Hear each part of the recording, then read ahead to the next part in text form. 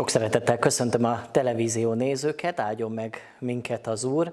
Ezen a héten a pünkösdre való készülődésben a Szentlélek munkájáról fogunk majd minden egyes nap elmélkedni. Az apostolok cselekedetei első néhány fejezetéből fogunk majd minden egyes nap egy-egy igeverset olvasni.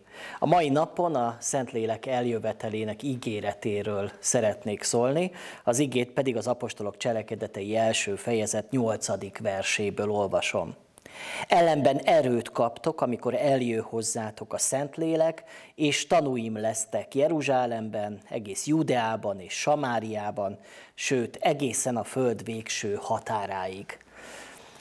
Az Úr Jézus Krisztus mielőtt mennybe ment volna, a tanítványokat utasította arra, hogy várják meg a Szentlélek eljövetelét, és majd azután kezdődik valamilyen új korszak. A tanítványok akkor még zavarba voltak, és tanácstalanok voltak, és nem értették, hogy mi fog történni velük, hiszen nagyon várták Jézus Krisztus feltámadását, és amikor Jézus ismét közöttük volt, a feltámadott Krisztus, akkor nagy örömmel voltak ismét együtt, és aztán nem számítottak arra talán, hogy Jézus a mennybe fog menni, és itt hagyja őket.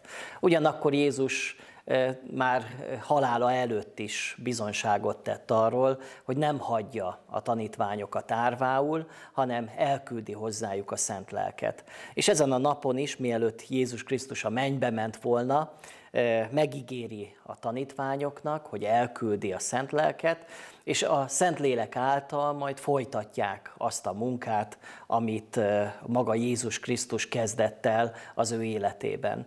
Nagyon fontos megértenünk, hogy a Szentlélek nélkül a tanítványok erőtelenek lettek volna, a kereszténység nem született volna meg, az egyház nem született volna meg, hiszen hiába volt már hitük, hiába találkoztak a feltámadt Krisztussal, de mégsem volt elég bátorságuk arra, hogy képviseljék őt az emberek előtt. Mit is tettek abban a tíz napban, ami közben Jézus már a mennybe volt, és a Szentlélek pedig még nem jött el a világba. Úgy olvasjuk a Bibliába, hogy összegyülekeztek és imádkoztak, és így várták az ígéret beteljesedését. És nekünk is nagyon fontos, hogy imádságban készüljünk a Szentlélek eljövetelére, kérjük és vágyakozzunk arra, hogy a Szentlélek bennünket is betöltsön, és a mi életünkben is jelen legyen.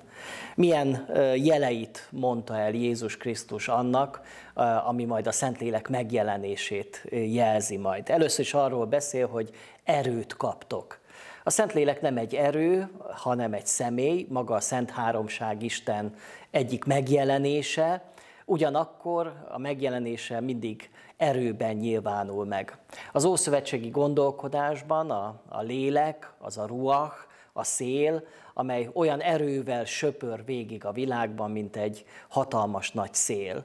És ugyanígy, amikor a Szentlélek eljön erre a világra, és elkezd munkálkodni az ember életében, akkor azt erővel teszi, és átformálja, átalakítja az ő gondolkodását, egész jellemét, életcélját. És aztán el is mondja azt, hogy mit fog tenni a Szentlélek majd a tanítványokkal, alkalmassá teszi arra őket, hogy Jézus Krisztus képviseljék ebben a világban, tanúim lesztek Jeruzsálemtől kezdve a föld végső határáig. Ez a munka, ez a megbizatás a mai napig is tart, a mai napig is az egyház feladata, hogy betöltse azt a küldetését, hogy elmentve a föld végső határáig hirdessük Jézus Krisztus halálát és feltámadását.